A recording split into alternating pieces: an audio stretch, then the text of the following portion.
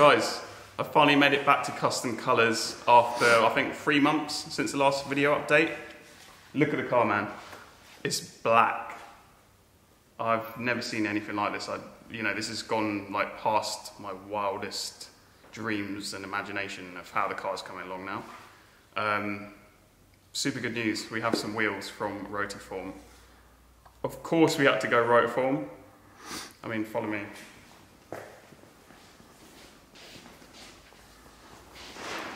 Rotiform have basically created some period wheels with a modern twist.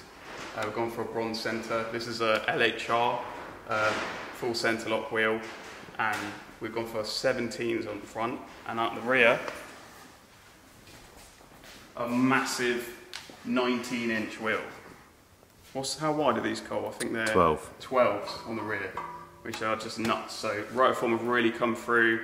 I don't think there's any other wheel brand we wanted involved in this project. We wanted Rotiform since day one, and they've certainly delivered. We're super, super happy with uh, what they've come up with. Um, and against the black, it just looks insane. Hello, Cole. You're right. All good. Uh, the cars come on loads, man. You must be getting pretty excited now. Yeah, it's quite surreal. I mean, me and Henry just put the front on and Dex, and it's the first time I've actually seen it looking like a car. With kidneys and Yeah, stuff yeah, like totally. that. I say it's sort of we've been working hard at it, and we haven't really spent a long time on it, and it's pretty mad to see what we've actually achieved. You've achieved a hell of a lot, man. Like considering you've Yeah. sort of basically built this car from scratch, you've had to learn so many Yeah, skills so- building this, right? I've lost count amount of cars we've built, but normally it's just paint, air, or hydraulics, and interior. But yeah, this is complete everything from scratch, and just drawing uh, drawing pictures on bits of paper and going for it. and it's, yeah, it's worked. I've noticed the engine's changed quite a bit. The block itself, it's uh, looks like you've deleted the original like BMW rocker covers that would be there, or you've painted over them or something. Yeah, um, obviously we want it to be known as a BMW engine, but they do look crap. It's not a nice looking motor, so we just wanted to try and sort of make it look as nice as we could. So smooth out the rocker covers, hide as much as we can. Chris has spent ages going through everything, getting rid of everything we don't need. Because we've got the Digi Dash, we're running all our own sensors, so we have actually got the BMW ones in place still and we have got an OB port on it, so we can actually put a diagnostic onto it. Amazing. So it might actually tell us what's wrong with it if there's Yeah. a problem. And uh, yeah, obviously change all the fuel rails, etc., like Chris said earlier. And you've got all this stuff going on here, all the fuel yeah, rails catch here, tank, fuel catch pressure. tank at the back there. Yeah, Nuke cool. makes some pretty cool stuff. Yeah. Very cool. And inside, should we go around the other side or come Yeah. in here? So this is looking proper race car now as well. Obviously the steering wheel been through in other episodes, that's been retrimmed. And that is one of like the original style ones that would come in the style Group steering. 5. Shifters in from CAE, thanks to Hack Engineering for that, it's finally in the car. And you've gone for what, an OBP handbrake? Yeah, handbrake, same as a pedal box. Um, we were going to run a stock one, and I kept umming and ahhing about hydro handbrake. And in the rear, I see there's a new flow tank from Airlift. yeah, That's looking really cool. Car audio hooked us up with a Yeah, Car Audio Security have sorted us out with that and gone for some nice hard lines. Yeah, still got to finish off, paint hard lines, fit the management. We're going to paint all the hard lines, just add a bit more colour to the interior. But yeah, basically the air from airlift is all plumbed in bar the management now. Right. And then we're um, hopefully maybe next week we might fire up the air and check it all works. Yeah, get the engine started. Finally. Yeah, yeah. Neil's got a little bit more wiring to do.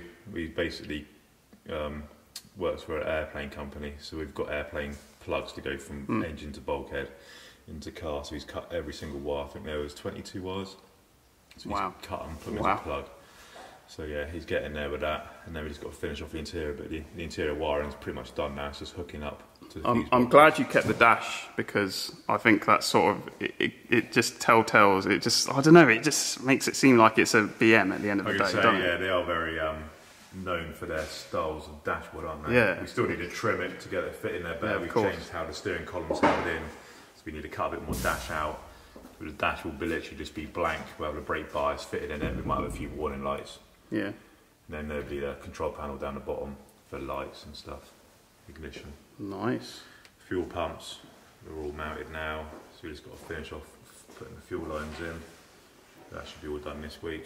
Cool. Shall we um shall we show everyone underneath?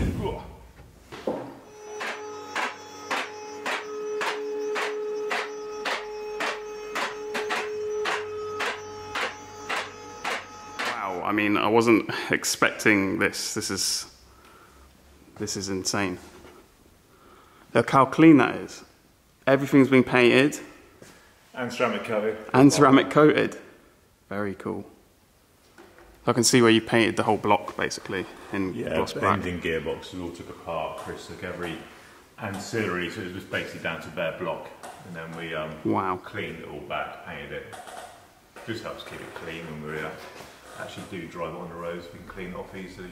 Look, everything is just so clean. It's a brand. It's basically a brand new race car. That's, that's Good what every single arm bush. Everything's brand new. Yeah, we got all that from uh, Powerflex as well. Yeah. That came last year, so that's all fitted up now. And yeah, look at the rear as well. Wow.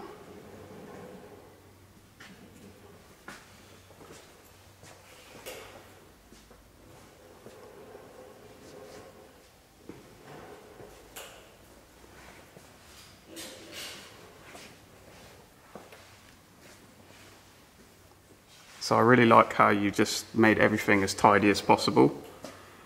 Every little wire, cable,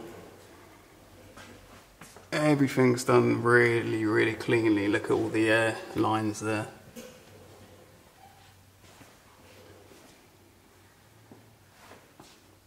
The nice thing will be when you do have to work on the car, you know where everything is. It's Yeah, all accessible. It's, all easy, straightforward. Yeah. It's very simple, really. There's no major one at the back. It's only the engine loom. yeah. So yeah, it's pretty straightforward. And these two rad. Will there be a rad either side? There is, yeah. Yeah. Amazing. Yeah, as there's such big vents, we had to put something in there. we need to finish matting and put some braces on it. Look at those wheels. Look how they fill. So as you were saying, we could possibly even add a 20 mil spacer because that's a 12 and it's still got quite a bit of room in there. Pretty nice.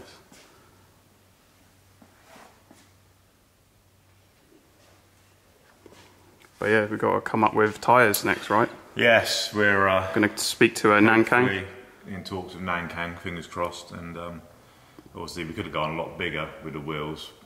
Obviously, at the moment, they are sat badly, camber, but everything's fully adjustable. So by the time it comes up, we should be pretty level with the arch. But Yeah. we are going to be limited to what tyres we can get. Like what, what sort of tyre are you thinking? Like a semi-slick? Yeah, it's got to be sort of a, a track-inspired tyre, So- nice and square on So rim. probably a AR1 from Yeah, Nankang. That's what we're looking at.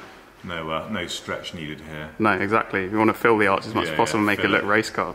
Got to look big. Yeah, man. So cool.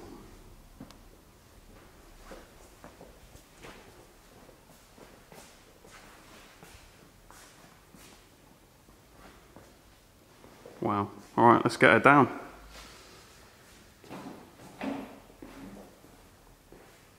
Cool. So the car's come a huge way since I was last here. Uh, what, what's going on next? I mean, the car's mostly blacked out now.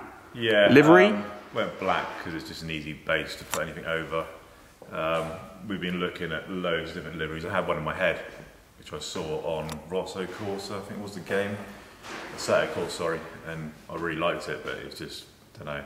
Now we've looked at it and looked at it, it's like, now it looks crap. We've been looking at the car for so long. Yeah, yeah. Um, everyone, there is a few reps out there, obviously, and like we said in the first place, we're not making it as a rep. It's our own inspired.